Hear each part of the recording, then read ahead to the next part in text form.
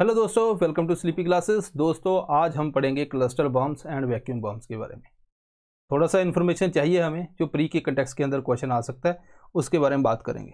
यहाँ पे बात करते हैं कि रशिया और यूक्रेन का क्राइसिस आपने एडिटोरियल में पढ़ा होगा, आपने डीएनडी के अंदर भी पढ़ा होगा। और यहाँ पर अक्यूज़ किया गया रशिया को कि उसने cluster bomb and vacuum bomb चलाए।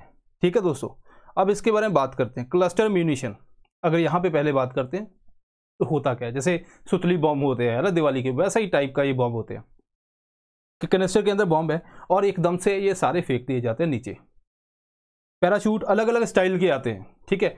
कुछ उसमें से चलेंगे जैसे दिवाली के अंदर नहीं होते हमारे पास, जो रेड कलर के छोटे छोटे बॉम्ब कुछ चलते हैं, कुछ नहीं चलते, है ना? वैसे ही है, यहाँ पे कुछ चलेंगे कुछ नहीं चलेंगे अलग अलग इनका साइज़ हो सकता है, उसके ऊपर कोई यहाँ पे डिबेट नहीं है कि भाई एक ही स्टैंडर्ड साइज़ के हों। अब ये इनमें से कुछ चलेंगे, कुछ नहीं चलेंगे, है ना?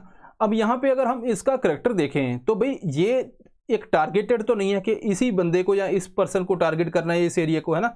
तो ये इतने ज़्यादा टारगेट स्पेसिफिक नहीं होते। इसके करेक्टरिस्टिक्स हैं जो हमें प्री के कंटेक्स के अंदर आने चाहिए। वो बात करते हैं। अब पहले इसे ये भी बात कर लेते हैं कि 2008 के अंदर कन्वेंशन हुई कन्वेंशन ऑन क्लस्टर म्यूनिशन ठीक है? जिसको क्लस्टर बॉम्ब भी बोलते हैं। इसके अंदर बोला गया कि जो जो बॉम्ब है, उसको प्रोहिबिट करने की बात की गई। हालाँकि, जैसे यूएस रशिया वगैरह, वो इसके, इन्होंने पार्टिसिपेट इसके अंदर नहीं किया। ये क्या बोलता है? क्लस्टर ऑफ़ म्यूनिशन क्या है? Conventional munition that is designed to disperse और release explosive sub munition each of weight less than twenty के ठीक है, ये हमें याद करना है। अब ये पहली बार डिप्लॉय हुए 1943 के अंदर रशिया या सोवियत एंड जर्मन फोर्सेस के दोबारा। प्रोसीजन नहीं है एग्जैक्ट नहीं है तो नॉन प्रोसीजन है। इनडिस्क्रिमिनेटली ये बहुत से सिविलियन की भी डेथ होती है है ना? एयरक्राफ्ट से या लॉन्चर से या प्रोजेक्टाइल से कहीं से भी इसको लॉन्च कर सकते हो। कुछ एक्सप्लोड करते हैं, कुछ नहीं करते। जो नहीं करते रेमिनेंट बोलते हैं उसको म्यूनिशन रेमिनेंट ये कन्वेंशन उसकी भी डेफिनेशन देती है, जिसके अंदर है failed cluster munition abandoned cluster munition unexploded submunition and unexploded bomblets ठीक है जी? अब यहाँ पे ये हो गया। अब बात करते हैं थर्मोबैरिक वेपन की। थर्मोबैरिक वेपन क्या है? कि जिसको वैक्यूम बॉम्ब भी बोलते हैं। इसके नाम पहले देखो।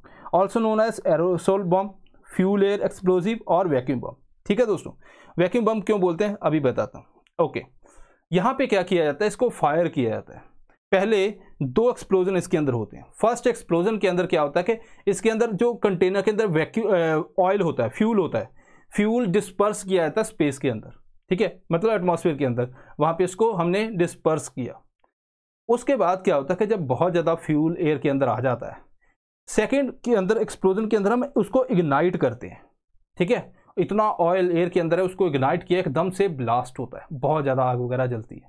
अब इस ब्लास्ट के चक्कर में, अब ये बर्न होगा ऑयल को हमने इग्नाइट किया तो इसको क्या चाहिए? ऑक्सीजन है ना? ऑक्सीजन एक तो ऑक्सीजन लेके बहुत ज़्यादा ये बिल्डिंग के अंदर भी घुस जाता है है ना? बिल्डिंग के वगैरह के अंदर, वहाँ पे भी बहुत ज़्यादा ह्यूमन बॉडी की इतनी हीट होती है कि ह्यूमन बॉडी को वेपोराइज कर देता है। ठीक है दोस्तों? अब यहाँ पे ऑक्सीजन को इसने, जो एटमॉस्फेयर की ऑक्सीजन को एक ब्लास्ट की वजह से बहुत ज़्यादा कंज्यूम कर लिया, है ना? बर्न तभी होगा। तो ऑक्सीजन एटमॉस्फेयर से कम हो जाती है।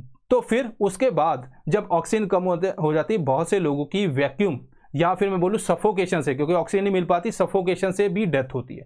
तो दोनों तरह से एक्ट करता है ब्लास्ट से भी और सफोकेशन से भी ये एक्ट करता है। ठीक है जी? ओके ठीक है। क्या ये लीगल है या कुछ नहीं है? तो इंडियन एक्सप्रेस क्या बोलता है? जिन कंट्री ने रेटिफाई किया है क्लस्टर ऑन म्यूनिशन ठीक है? प्रोहिबिटेड वो यूज़ कर, उसका यूज़ प्रोहिबिट करती है, लेकिन अगर आप देखें रशिया यूक्रेन वगैरह ये सिग्नेटरी नहीं है। वैक्यूम बम जो है not prohibited by any international law लेकिन सिविलियन के अगेंस्ट आपने यूज़ करना है तो उसको प्रोहिबिट किया गया कि आपने इसके सिविलियन के ऊपर अटैक नहीं करना।